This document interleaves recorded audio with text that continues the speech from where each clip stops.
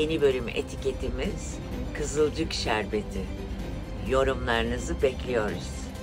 Bu akşam Show TV'de.